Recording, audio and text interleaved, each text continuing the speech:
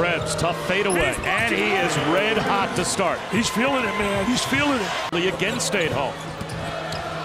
The finger roll is thrown out by Clarke. That's Oh, he sent the message. Randy Bennett in a timeout. Take Uh-oh. away by Hachimura. Oh, yes. Live ball jam. He's going to be a solid NBA player. limited Gonzaga with no second chance points opportunity so far, and they're beating him on the glass. Krebs to toss. I'll tell you one thing, they're beating them on the inside. You know, the one thing is, again, ready to execute right here, the half-court game. They won 30 games last year didn't get in because people said, hey, what about this guy, Vince? Are you serious?